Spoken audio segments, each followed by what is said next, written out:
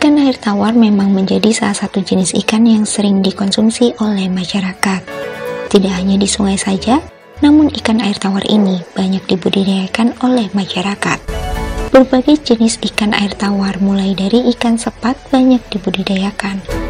Ikan sepat memang menjadi jenis ikan air tawar yang paling banyak penggemarnya. Selain rasanya yang nikmat, ikan sepat ini sangat tinggi kandungan proteinnya. Permintaan ikan sepat yang ada di pasaran memang bisa dibilang sangat tinggi. Ini karena ikan sepat nikmat dikonsumsi dan harganya terjangkau.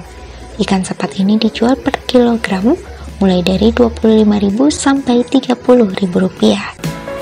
Di pasaran memang tidak sulit untuk menemukan ikan sepat ini, sebab banyak peminatnya menjadikan laris manis.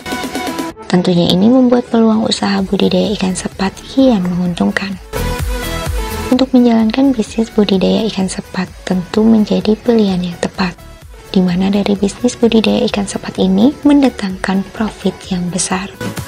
Cara budidaya ikan sepat ini terbilang mudah dan tidak membutuhkan perawatan yang intensif. Di mana modal dalam bisnis ini juga terbilang tidak besar, sehingga pilihan bisnis budidaya ikan sepat ini wajib untuk dicoba.